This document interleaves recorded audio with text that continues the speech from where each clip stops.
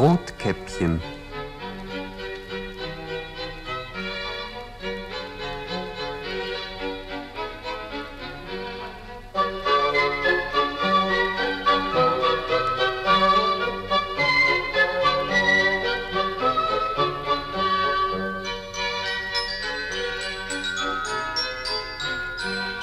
Es war einmal ein kleines, liebes Mädchen, das hieß Rotkäppchen, denn immer wenn man's sah, trug es auf seinem blonden Haar ein Käppchen von rotem Samt. Eines Morgens rief seine Mutter es zu sich und sagte, Rotkäppchen, nimm diesen Korb. Es ist Kuchen darin und eine Flasche Wein. Bring ihn hinaus zu deiner Großmutter. Sie ist krank und schwach und wird sich daran laben. Ja, Mutter, ich mach mich gleich auf den Weg. Ich gehe doch so gern zur Großmutter. Und in der Früh ist's so schön draußen im Wald. Die Vögel singen das Morgenlied, der Tau liegt auf dem Gras und an der Hecke sind die Rosen aufgeblüht. Davon will ich der guten Großmutter eine mitbringen. Aber lauf ja nicht vom Weg ab, Rotkäppchen, sonst fällst du und zerbrichst das Glas. Nein, nein, Mutter, ich versprech dir's. Da nahm Rotkäppchen den Korb und lief hinaus. Wie es nun durch den Wald ging und die Sonnenstrahlen durchs Laub fallen sah, da dachte es, Wie frisch und grün ist es hier draußen. Und dort im Gras sind die blauen Glockenblumen aufgeblüht. Die will ich der Großmutter mitbringen. Sie muss ja im Bett bleiben und kann nicht hinaus und die schönen Blumen ansehen. Ich darf wohl ein wenig vom Weg fortspringen. Dort am Bach stehen die schönsten. Die will ich pflücken. Wie wird sich die Großmutter freuen? Und dort unter den Büschen, weiter im Wald, sehe ich noch viel, viel mehr. Ich will einen großen Strauß machen. Da lief Rotkäppchen vom Weg fort in den Wald hinein. Es sang und sprang und freute sich an den Blumen und geriet so immer tiefer in den Wald hinein. Da begegnete es dem Wolf. Und weil es nicht wusste, was für ein böses, hinterlistiges Tier das war, sagte es ganz freundlich, Guten Morgen, schwarzgrauer Geselle. Schönen Dank, Rotkäppchen. Wohin gehst du denn so früh? Zu meiner Großmutter gehe ich. Hm, Und was hast du da in deinem Körbchen? Einen Strauß von blauen Glockenblumen, eine Flasche Wein und einen Kuchen. Das bringe ich der Großmutter. Sie ist krank und soll sich daran freuen. Hm, Sag mir, Rotkäppchen, wo wohnt denn deine Großmutter? Ist es noch weit? Wohl noch eine halbe Stunde den Weg am Bach entlang. Da sind drei große Eichen. Darunter ist ihr Häuschen. Und vor dem Zaun ist eine Nusshecke. Willst du mich nicht begleiten? Es ist viel lustiger zu zweien. Ja, das würde ich gern. Aber ich muss gerade noch etwas Eiliges besorgen. Auf Wiedersehen, Rotkäppchen. Da lief der Wolf davon, den Weg am Bach entlang zu den großen Eichen.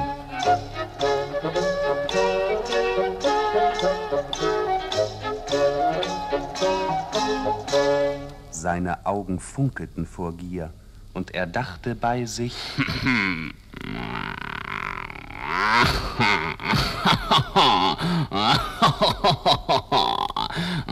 Das habe ich listig angestellt. Nun weiß ich, wo die Großmutter wohnt. Geradewegs lauf ich zu ihrem Häuschen. Meine Beine sind ja siebenmal so schnell wie die vom Rotkäppchen. So bin ich früher dort. Da will ich zuerst die Alte fressen. Und wenn dann Rotkäppchen kommt, mm, dann gibt es noch eine zarte Nachspeise für mich. Das wird ein leckerer Happen. Und der Wolf lief, was er nur konnte, kam zu dem Häuschen unter den Eichen, klopfte an und rief mit verstellter Stimme, Großmutter, mach mir auf! Wer ist draußen an meiner Tür? Ich bin's, Rotkäppchen. Ich bringe dir Kuchen und Wein. Mach mir auf! Ich kann nicht aufstehen, mein Kind. Ich bin zu schwach. Schieb nur den Riegel über der Tür weg und komm herein. Da ging der Wolf hinein, sprang zum Bett der Großmutter, verschlang sie und leckte sich das Maul. Hm, das war ein nicht übler Bissen. Wie wird erst das zarte Kind schmecken? Damit es mich nicht erkennt, setze ich die Haube der Großmutter auf, zieh ihre weißen Strümpfe über meine schwarzen Pfoten und lege mich so, mitten hinein in ihr schönes Bett. Oh, wie liegt sich's hier weich und warm. Ganz anders als auf dem harten Waldboden. Aber ei, was höre ich? Tripp, trapp, tripp, trapp, Schritte vor der Tür. Das ist Rotkäppchen. Und jetzt klopft es. Großmutter, mach auf! Rotkäppchen ist gekommen. Ach, ja, so komm nur herein, liebes Kind. Guten Morgen, Großmutter. Ich habe dir etwas Schönes mitgebracht. Aber um Himmels willen, wie siehst du bloß aus? Du hast ein so schwarzes Gesicht. Und warum hast du so große Ohren? Dass ich dich besser hören kann. Und was hast du nur für große, schreckliche Augen? Damit ich dich besser sehen kann. Großmutter, ich habe Angst. Warum hast du einen so schrecklich großen Mund? Damit ich dich besser packen und fressen kann. Da machte der Wolf auch schon einen Satz aus dem Bett heraus, ergriff Rotkäppchen und fraß es auf. Dann legte er sich wieder hin und fing an zu schnarchen, dass man es bis in den Wald hinein hörte.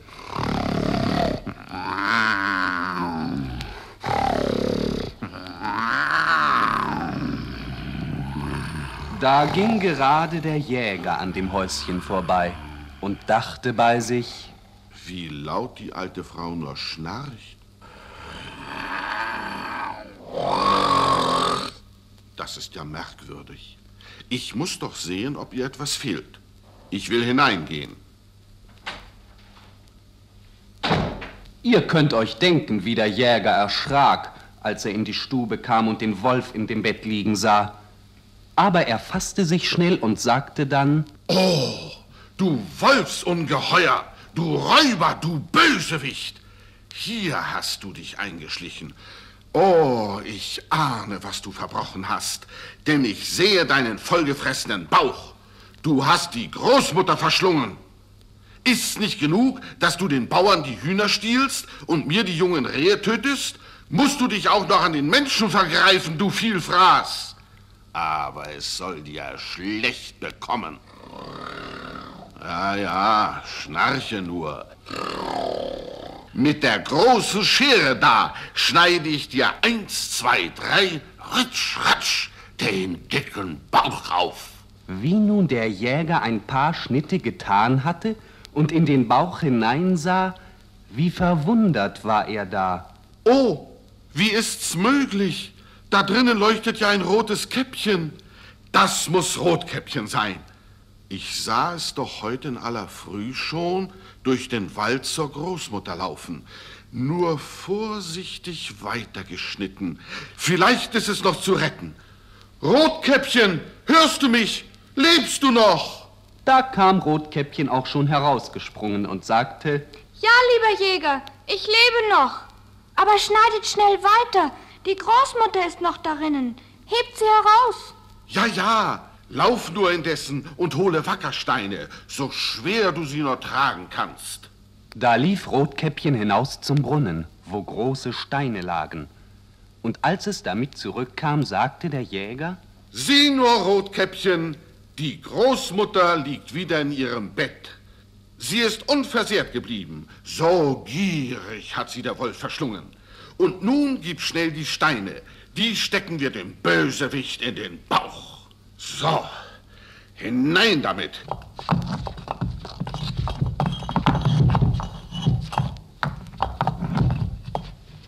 Und nun nähe ich den Bauch wieder zu, damit Steine nicht herausfallen. Das geschieht dem Vielfraß ganz recht. Gerade als der Jäger fertig war, wachte der Wolf auf.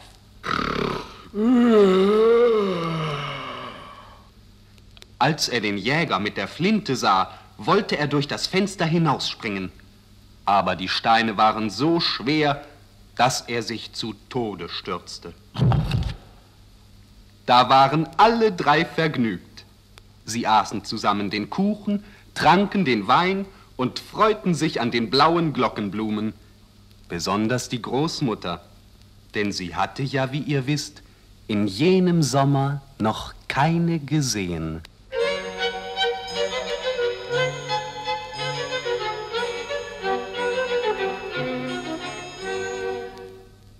Der Fuchs und die Gänse.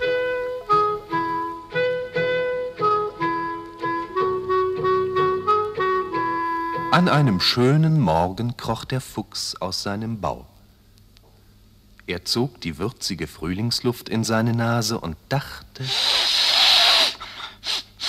Ei, wie macht der würzige Waldesduft mir Appetit?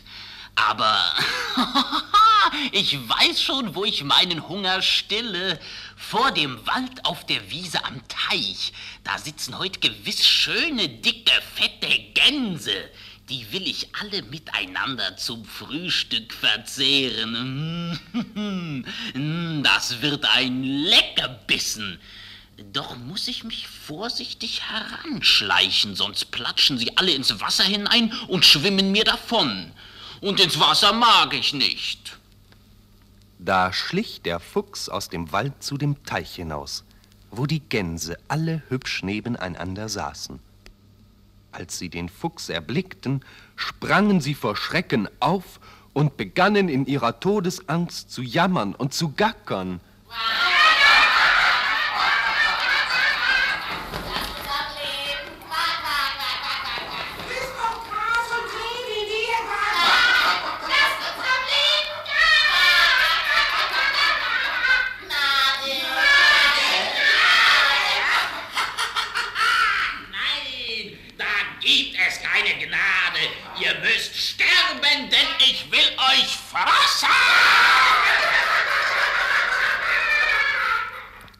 In dieser höchsten Not fasste sich die tapferste Gans, die zugleich auch die klügste der Gänse war, ein Herz und sagte, Quack, quack, quack, quack, quack, quack.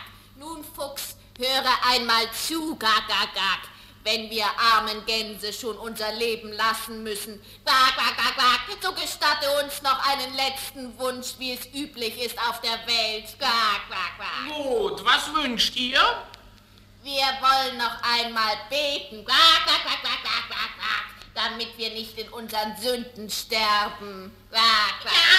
Ja, ja, das wollen wir. Und wenn wir ausgebetet haben, kannst du uns gerne alle fressen. Quack, quack, quack, quack. Nun, diese Bitte kann ich euch nicht abschlagen. Betet. Ich werde so lange warten, aber beeilt euch. Da fing die klügste Gans ein recht langes Gebet an und sagte immer, betet Schwestern, betet,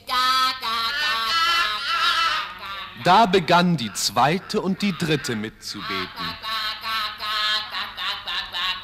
Und dann die vierte und die fünfte. Und endlich schnatterten sie alle zusammen.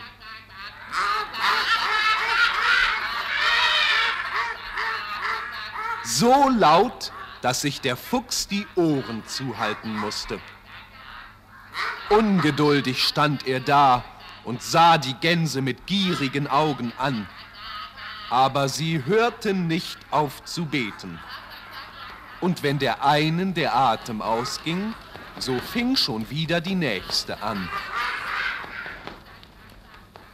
Da ging der Fuchs ärgerlich davon. Die Gänse aber schnatterten fort und fort. Und wenn ihr einmal an einem Teich vorbeikommt, da werdet ihr ja hören, dass sie bis auf den heutigen Tag nicht aufgehört haben zu schnattern.